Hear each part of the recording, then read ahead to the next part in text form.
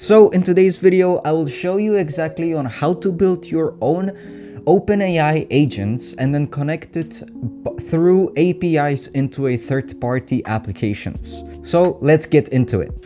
So as you can hear, I want to create a automation and I want to connect my own API, ChatGPT. However, I need to add my own API and this is where I need the API key and then as well as organization ID. So what do I have to do is first of all, I have to create my own agent that it will be able to actually function as a proper AI bot robot. So the first thing what I have to do is actually have to go into OpenAI API. Now here, what I have to do is I just have to log into my profile and then once I'm logged in, then I'm on my dashboard of my API connections. Then what I have to do is I want to go to the dashboard and then I can click on the assistant. Now here you can see the previously made assistants that I made it for myself.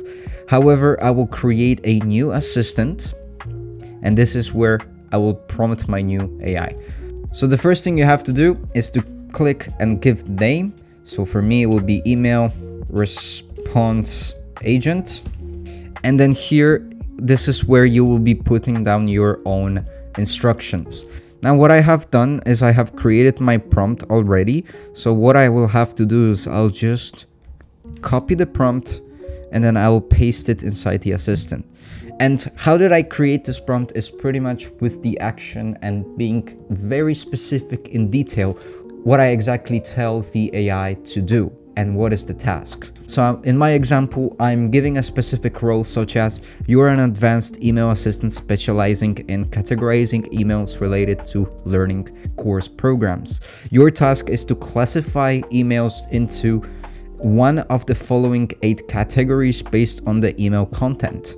Now, the eight categories would be course content questions, technical support, pre-purchase queries, payment and billing issues, as well as career guidance, etc. etc. Now, as you can see, I have created a specific role. I have provided a specific action with the specific knowledge, and then I will provide what is the following action that it has to do. So using the subject line and body of the email as an input, return a category name the best describes the email topic and etc and able to respond to the email correctly. Now as you can hear as well i have created specific examples for the ai to understand on what is exactly going on. So for instance example one example two example three and if you provide more of these specific examples of the actions that you want to create then the ai it will be able to understand more on what kind of tasks it's supposed to do. So once are you happy with the prompt, you can just save it and then from there you can choose your own specific model. Now because it's not a sophisticated model that I have created for myself, it is the simple model then I will just use the GPT 3.5 Turbo. Now I don't need it to have this file searches or code interpreter and then however what I wanted to have is the response format which is in text and I don't want it fully to be hallucinating. So once that pretty much agent has been created, we have to create a specific API keys around it. So what you want to do is you want to create a new secret key and then you here you can put the name of the assistant that you want to create. So email response agent from here you select a specific project that you have created your automation on and then create a secret key. Once you receive the secret key, you have the API secret key.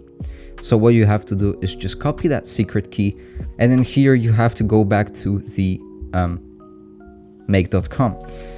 Paste your secret key, meaning the API key, and then what else you need to do is to get the organization ID. You can find this organization ID under settings when it comes to general and then you will find your organization ID. So only thing you have to do is just to copy the organization ID, go over the make, paste it and then save it.